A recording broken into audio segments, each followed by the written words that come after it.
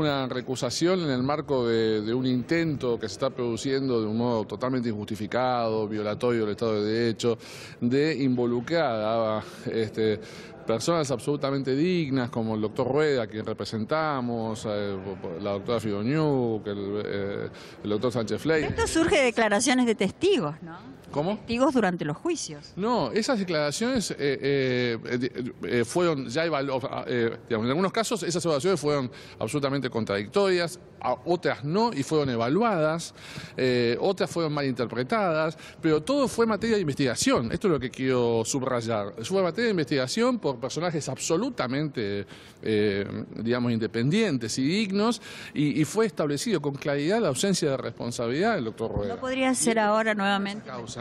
¿Eh? Esa causa está fenecida, digamos, están reabriendo expedientes que ya están cerrados. ¿no? ¿Por qué dice que están totalmente cerrados incluso por esto, por la actuación que le cupo a la doctora López de Filoñuc en el comité evaluador del jury del Ministerio Público Fiscal? Todavía está pendiente un dictamen sobre la actuación que le cupo a la fiscal. Yo tengo entendido que ya hubo un dictamen en el marco... de la, fiscal, de la procuradora. Dice dictamen y yo le contesto que dictamen tengo entendido que ya hubo y fue un dictamen en el que quitó toda responsabilidad en Filoniuk.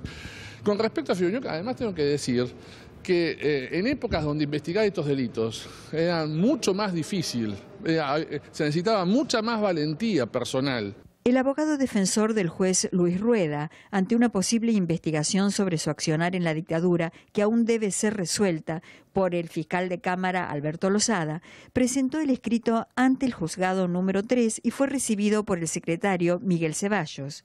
El titular del juzgado, el juez Hugo Vaca Narvaja, se manifestó sorprendido. Tengo conocimiento que ha presentado un escrito en el juzgado, aún no lo he visto, pero me llama la atención porque no hay eh, absolutamente ninguna causa eh, iniciada, pero bueno, creo que una vez que yo lea el escrito vamos a tomar las determinaciones del caso.